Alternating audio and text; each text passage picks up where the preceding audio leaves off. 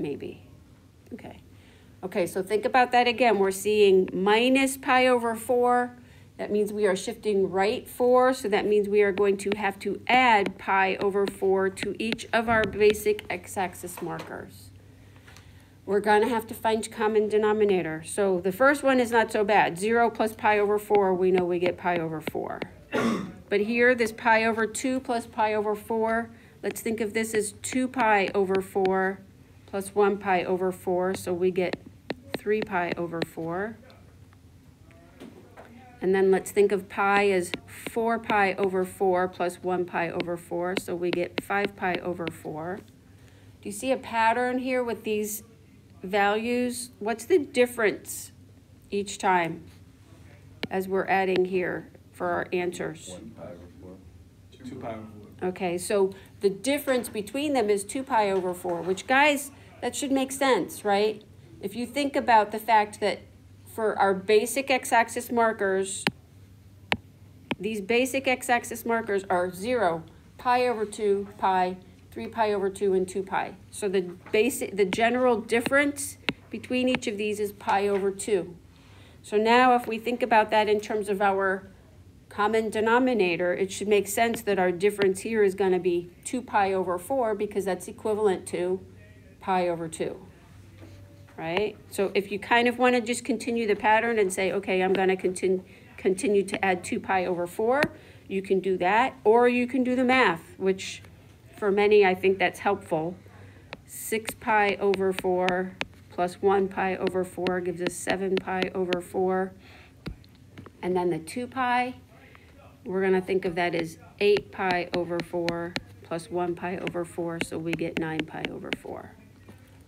Okay? All right. We have got to make sure that we are showing a consistent spacing on our graph. So think about what's happening here. We are shifting. We are not going to be right at the origin. We are not starting at the origin anymore. But we have to show a consistent spacing not only between each of these values, but between 0 and what this original first value is along the way also. So think about that for a second. So as an example, if I choose to just move out one place and say that that's a distance of 1 pi over 4, then how many hash marks over do I need to move to show each of these other places, these other x-axis markers? I'm going to go two places so that I'm going, okay, add 2 pi over 4. That's our next place. Another 2 pi over 4, and so on. One, two, three, four. So for those five hash marks. Okay, so let's label those. So the pi over 4, 3 pi over 4.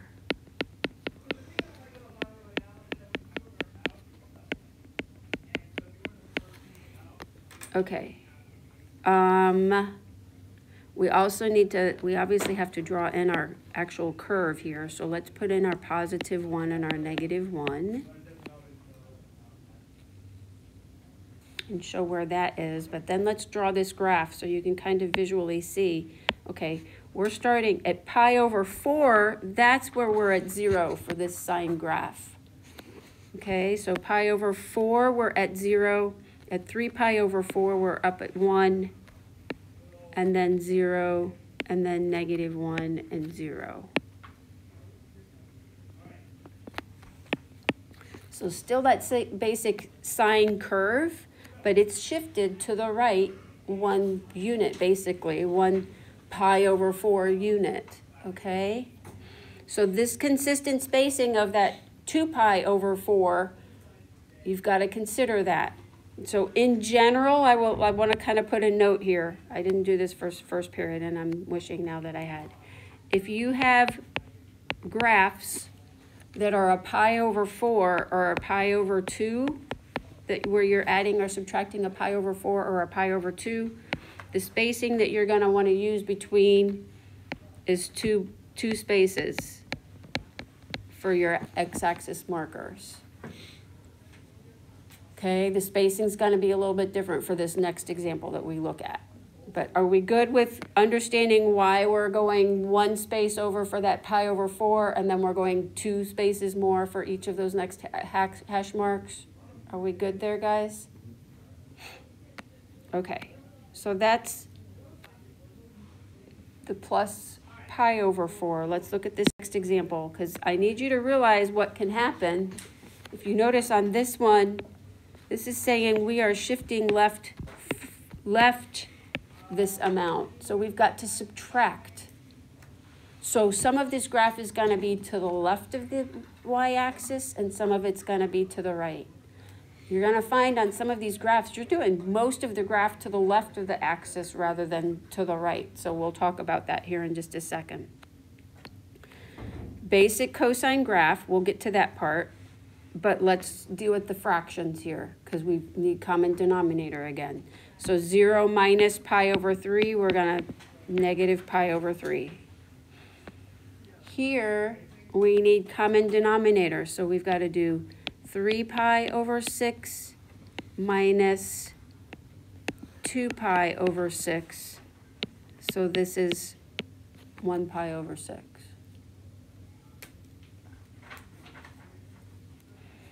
Um, this is 3 pi over 3 minus 1 pi over 3, so we get 2 pi over 3.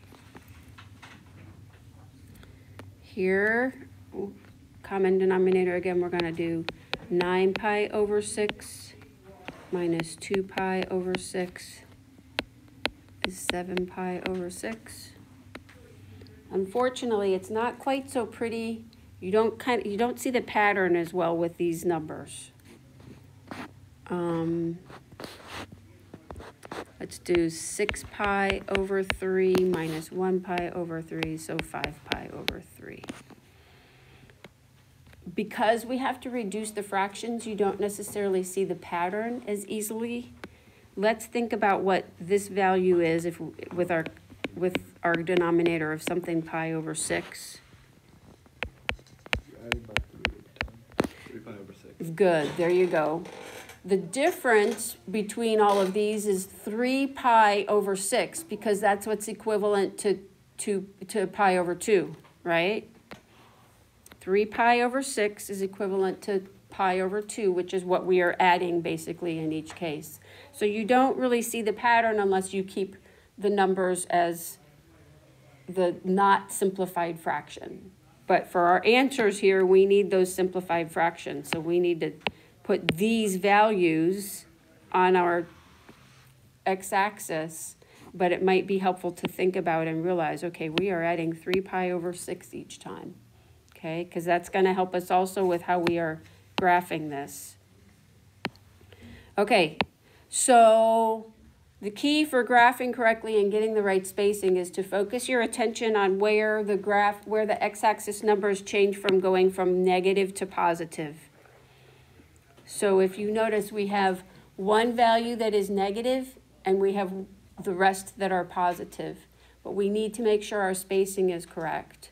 And as Luca pointed out, we need three spaces between each of these hash marks to show our space of pi over 2. So we want to consider that as well when we're looking at how we're going to draw this. So what that's telling me then is if I'm comparing this negative pi over 3, which is equivalent to negative 2 pi over 6, and this 1 pi over 6, I want to go one hash mark over to show where pi over 6 is. But I need to go two hash marks over to show where negative pi over 3 is. Right? I'm showing negative pi over 3 is equivalent to negative 2 pi over 6. And then one space to show the 1 pi over 6. Is that giving us the three spaces altogether? Yes. So that's important to kind of notice. And we'll talk more about that in a sec. And how do you know that the pi over six is there? Like, why is there only one over and not? Um, I'm kind of, I'm choosing just one space because if I go too much more, then I've got to kind of Cut space. for the- that means I'm gonna have to drag everything out even farther. Like if I go one, if I go two spaces for pi over six, then for that two pi over six, I'm having to go four spaces out. So it, it draws everything out farther. So that's a good question. We kinda, we wanna try to make it so that it is not quite so drawn out that it goes way off of the graph. It might go off the graph some, but we don't want it to go way off the graph.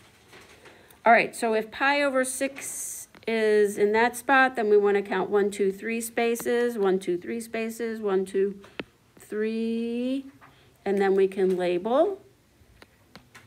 So that next hash mark is at two pi over three. And then seven pi over six. And then five pi over three. Okay, so guys, it's that spacing, that's kind of the important part of these problems, is getting that spacing. Getting the fractions, obviously, but then dealing with that spacing as well. So, what other questions do you have on that? Let's go ahead and graph It's the just hard to see. It is, it is, I realize that. Okay, we are still going up, just, we're doing a basic cosine curve, so we're gonna start. The other thing to remember is you're so used to starting at, like, right on that y-axis, and you're not starting there anymore, right? We're gonna start, our positive one is here at negative pi over three. And our next point is at zero here, so we're not, we're not crossing the, through the origin at all.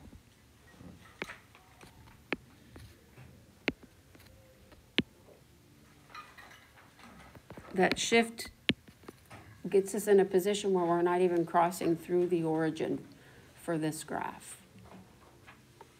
Okay? All right, questions on that? Okay, it just, it takes some practice with these, I realize that. Okay,